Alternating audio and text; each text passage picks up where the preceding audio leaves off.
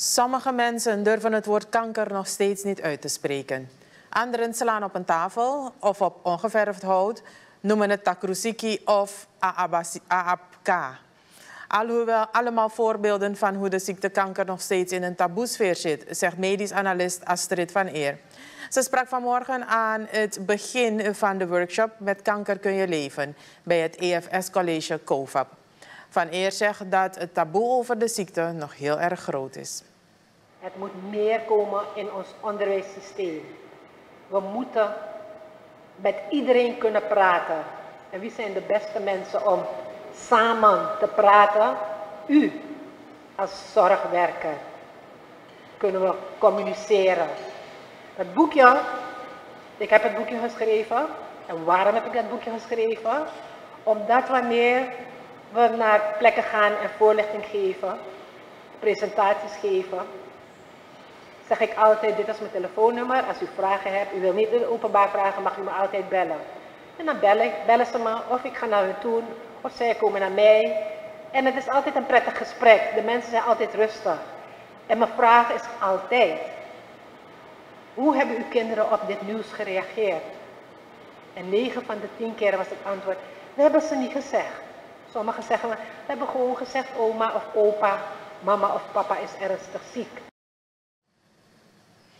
Wanneer zegt extra te letten bij klachten als langdurig hoesten, hoofdpijn, plotseling afvallen zonder een dieet, het van kleur veranderen van de urine, moedervlekken, bulten die niet weggaan en plotseling bloedverlies.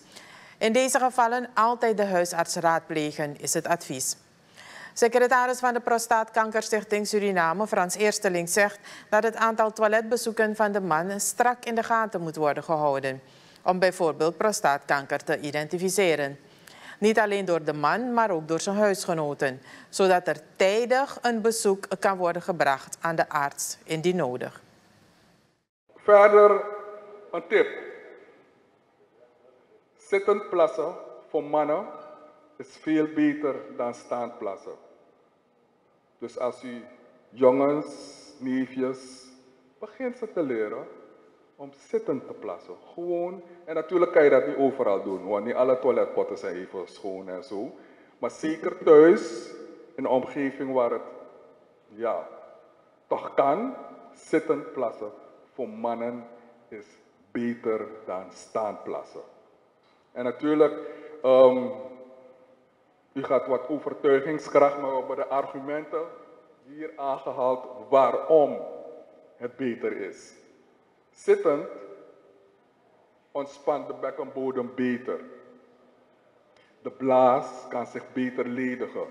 En natuurlijk, want als er urine blijft zitten in die blaas en blijft zitten in die blaas, zijn de kans, is de kans op ontstekingen veel groter. Eersteling zegt dat het bijzonder belangrijk is dat de Surinaamse vrouwen hun partners in de gaten houden. Het schaamtegevoel bij mannen over de manier waarop ze plassen is helemaal niet nodig. Er is ook veel aandacht gevraagd voor vertegenwoordigers van de organisatie of door de vertegenwoordigers van de organisatie Pink Ribbon Suriname voor de bestrijding van borstkanker.